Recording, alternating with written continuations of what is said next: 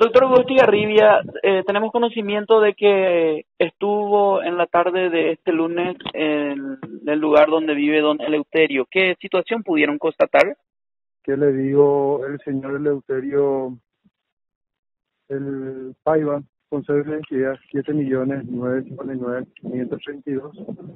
nos contactó principalmente nuestra jefa de APS, la doctora Liana Onieva, para poder asistirle porque correspondía dentro de nuestra zona.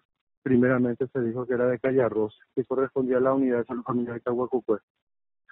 Asistimos, fuimos a buscar y el paciente estaba en otra zona, no nos correspondía como zona de la unidad, estaba en Genaro Romero Carandalpir, calle 29. Sí. De igual forma, acudimos al llamado y a la atención del paciente, en donde contactamos una lesión en el rostro lo que teníamos a mano le dejamos a la familia, que eran bióxido, idona, gasas, sueros, guantes, tapabocas, para su tratamiento, ya que es un tratamiento meramente con curaciones que se realiza. Este paciente está siendo atendido por la Unidad de Salud Familiar de Carandalpit y el Instituto de Cáncer según información del familiar. ¿Cuál es la, la situación de la lesión, si podríamos eh, indicar un poco en relación a, a lo que se veía en los videos publicados? ¿Cuál es la gravedad por sobre todas las cosas?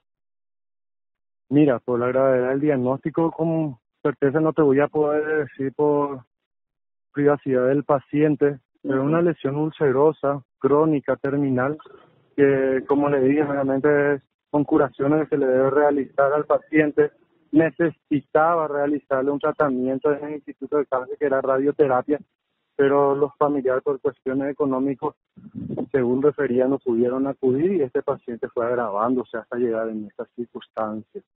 No es más por cuestiones de no realizarle algunas atenciones médicas, ya que es una enfermedad crónica.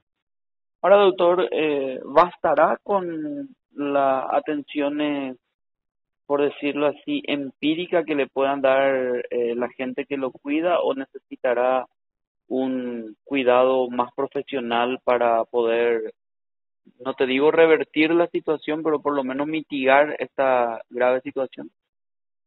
Sí, como le dije, es una enfermedad crónica. Luego el doctor de Carandalpil, el doctor Noguera, está haciendo sus funciones también ahí, visitándole, llevándole los medicamentos requeridos y las curaciones que están dentro de nuestro sistema de salud para realizarle desde el punto de vista de una unidad de salud pública. Pero si es de lo que estamos hablando de parte especializada en el Instituto de Cáncer para realizarle los tratamientos requeridos, el problema no es solamente eso, el problema es la edad que le afecta alrededor de 87 años ya tiene este paciente y también con la debilidad, está encamado, es un poco complicado ya. ¿Podría soportar un tratamiento de radioterapia a una persona en su condición, doctor? Y de mi parte no aconsejaría un tratamiento ya en esta situación por la edad principalmente y por su enfermedad que le ha que ha presentado un decaimiento social.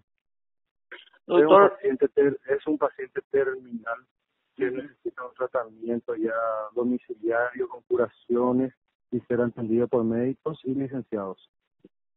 Entendido, doctor. ¿Se le aplicaría o necesitaría que se le aplique algún tipo de analgésico debido al dolor que está sufriendo? El paciente está con tratamiento, analgésico terapia, antibiótico terapia, según información del doctor de cabecera de la unidad de Al igual que las curaciones están haciendo. Nosotros justamente el día que le entendimos le llevamos lo que está dentro de la unidad, que son yo povidona, gasa, como le repetí, suelo fisiológico para las curaciones. Ya el doctor de su zona es el que le ve ya con analgésico terapia y antibiótico terapia. Entendido, doctor.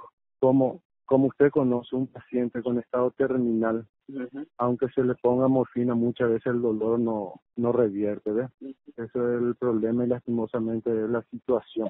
No depende exclusivamente de la parte de salud o del ministerio ya en esta situación, sino que es la enfermedad que le está tocando ya fuerte a, a nuestro paciente de leucemia. Lo que se haría con las curaciones y el tratamiento que se le está dando es un poco que tenga una un poquito mejor calidad de vida en sus últimos días, entonces, doctor. Exacto.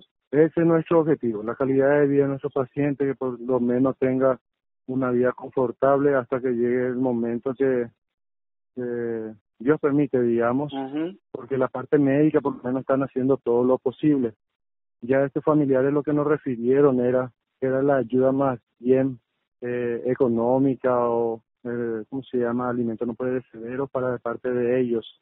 Capaz sea mal interpretado de parte de la prensa en la parte de que no se no recibe atenciones médicas. En eso te puedo asegurar y tenemos documentado tanto la unidad como la otra de Carandaite están documentados las atenciones médicas y los días que han visitado a este paciente.